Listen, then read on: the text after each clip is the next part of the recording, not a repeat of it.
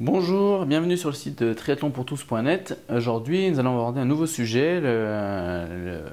J'entends souvent parler des gens qui me disent Moi, j'aime pas faire du vélo parce que ça fait mal aux fesses. Alors, c'est dommage parce qu'il euh, existe euh, des moyens qui permettent de, faire du vélo sans avoir mal aux fesses. C'est pas, euh, pas juste une normalité d'avoir mal aux fesses en faisant du vélo. Donc, les trois clés, enfin, pour moi, il y a trois clés qui permettent d'éliminer les douleurs aux fesses. C'est, la première, c'est d'avoir déjà le bon cuissard. Donc euh, pour les entraînements vélo, pour le triathlon, on se fait des entraînements vélo, donc on peut avoir un cuissard pour l'entraînement vélo, et après pour les compétitions, on a la trifonction.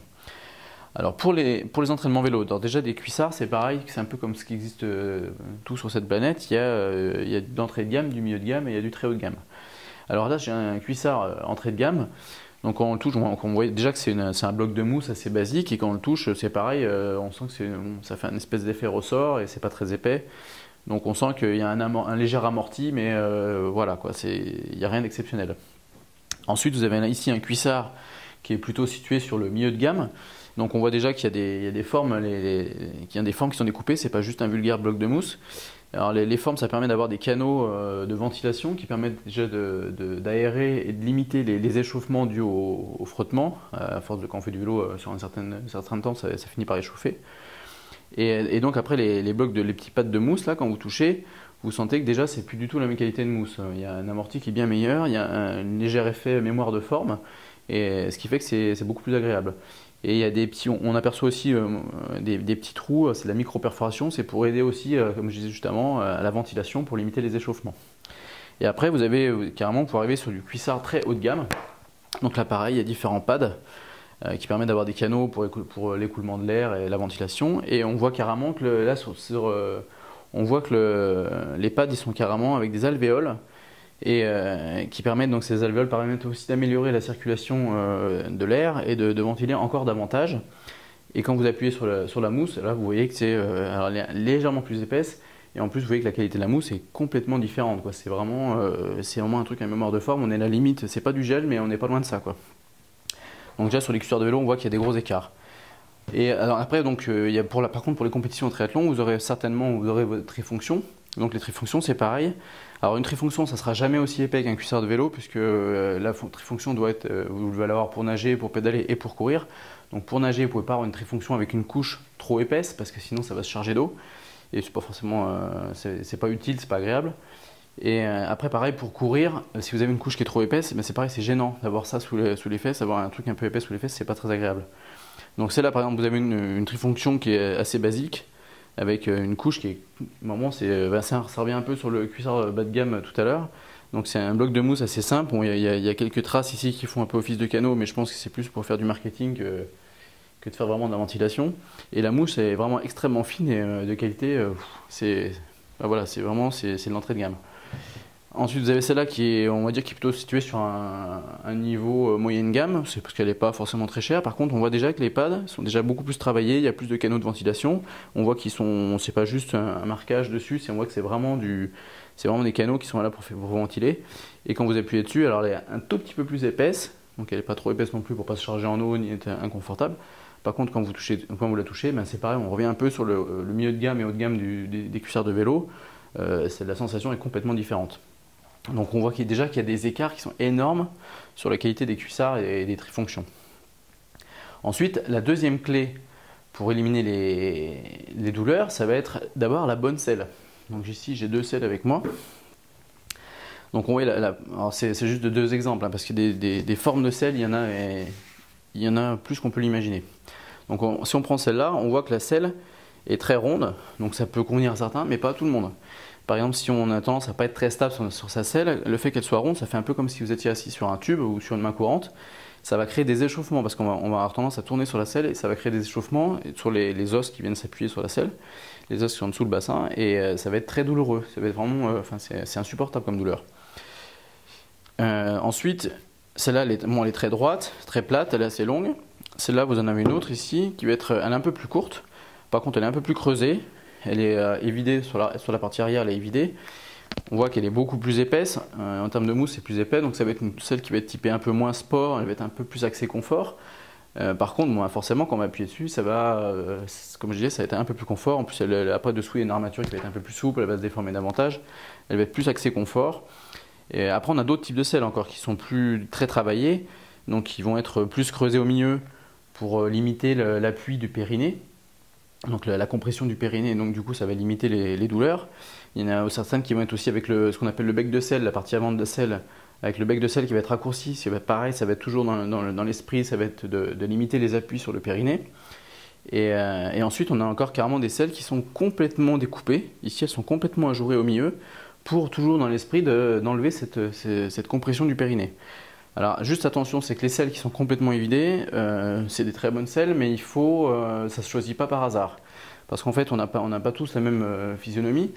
Et donc les, deux os sur lesquels vous, vous, reposez quand vous êtes appuyé, les os dessous le bassin sur lesquels vous reposez euh, quand vous êtes assis, en fait il faut mesurer cet écartement pour pouvoir définir la bonne largeur de selle qui vous convient. Parce que si votre, les os s'appuient sur une arête vive comme ça, ça va être plus, douloureux encore que d'être sur une selle pleine.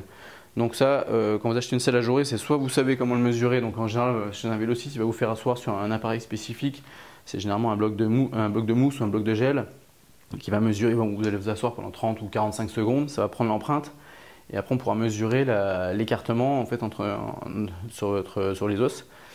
Et donc ensuite, on pourra définir la bonne largeur de selle. C'est mieux de le faire avec un professionnel qui a l'habitude. Si vous voulez le faire vous tout seul, vous pouvez le faire, mais c'est un peu plus dangereux. Parce que si vous vous loupez, que vous prenez une, selle qui est trop large par exemple, vous allez avoir les os qui vont appuyer sur les arêtes et ça va être vraiment insupportable. Donc voilà, donc le choix de la selle aussi est très important, ça va changer beaucoup de choses. Euh, à titre personnel, moi, euh, la selle que j'utilise aujourd'hui, quand je l'ai euh, choisie, on en a essayé 6.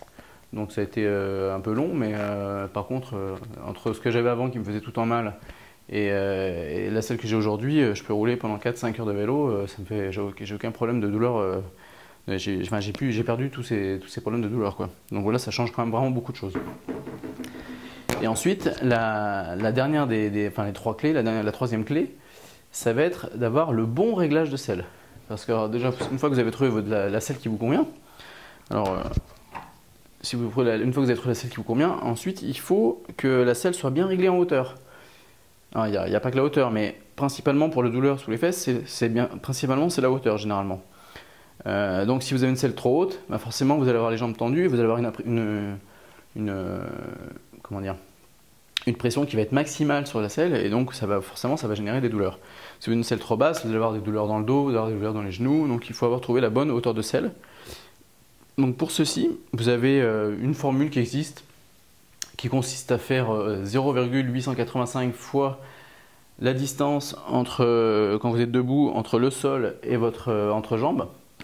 Si vous n'avez pas envie de vous embêter à faire des calculs, à faire des mesures et tout, vous avez une autre solution, c'est quand vous êtes assis sur votre vélo, les chaussures de vélo au pied et les pédales enclenchées. La pédale doit être au maximum bas, donc ce qu'on appelle le point mort bas, la, position la plus basse de la pédale. Votre jambe ne doit pas être complètement tendue. Il doit y avoir une légère flexion dans votre genou. Et vous pouvez, pour vérifier, une deuxième méthode pour la vérifier, vous décrochez votre chaussure, euh, votre pédale, et vous venez poser votre talon sur la pédale. Et là, par contre, vous devez avoir la jambe qui doit être tendue cette fois. C'est approximatif, mais ça permet déjà de bien d'avoir un bon ordre d'idée, de savoir si vous êtes à la bonne, à la bonne hauteur. Ça va dépendre aussi de l'épaisseur euh, du talon de votre chaussure, si vous avez une cale ou pas, parce qu'il y a des chaussures avec des cales à l'arrière. Donc ça peut varier un petit peu, mais euh, ça donne déjà un bon, un bon ordre d'idée sur la hauteur de selle. Et après, si on, veut parler de, réglage de selle, il y a, pour peaufiner, après on peut aussi régler la hauteur de la selle et le basculement, enfin l'inclinaison. Euh, donc le recul de selle c'est très important parce que si vous avez un vous pouvez trop, trop avancé, trop reculé, et donc là, ben, ça va vous générer aussi, en plus des douleurs aux fesses, ça va, pouvoir vous, générer déjà de la perte de puissance, parce que comme vous n'êtes pas bien positionné sur votre selle, ben, vous aurez moins de puissance pour monter les côtes, ou pour emmener du braquet sur le plat, mais, euh, en plus, euh, ça va vous générer des douleurs dans les genoux, donc c'est dommage.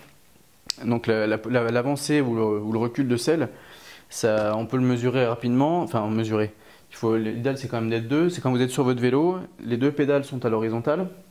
Et donc le pied qui est situé, euh, celui qui est en avant, avez, vous avez la jambe qui est légère, normalement à peu près 90 degrés. Il faut que l'axe de votre genou soit à l'aplomb de l'axe de la pédale, donc au-dessus de l'axe du, du, métatarse, quoi, de la flexion des métatarses. Parce que si vous avez l'axe du genou qui se retrouve devant l'axe de pédale, c'est que vous avez votre selle qui est trop avancée. Si l'axe du genou est, trop, derrière l'axe de la pédale, c'est que vous avez votre selle qui est trop reculée. Et donc forcément, ça vous générera des, ça vous générera des douleurs euh, au genou. Donc voilà. Donc maintenant vous connaissez tout, vous avez les trois clés qui vous permettent d'éliminer les douleurs aux fesses. Donc 1. d'avoir le bon cuissard, 2. d'avoir la bonne selle et 3. d'avoir le bon réglage de selle. Et maintenant que vous savez ça, euh, à vous de vous, faire, euh, de vous faire vos réglages, de trouver votre bon cuissard qui convient bien. Et maintenant vous êtes armé pour pouvoir euh, faire du vélo des heures et des heures en faisant plaisir et de ne plus avoir mal aux fesses. Donc voilà, c'était Nicolas Prély sur le site triathlonpourtous.net. A bientôt pour une prochaine vidéo.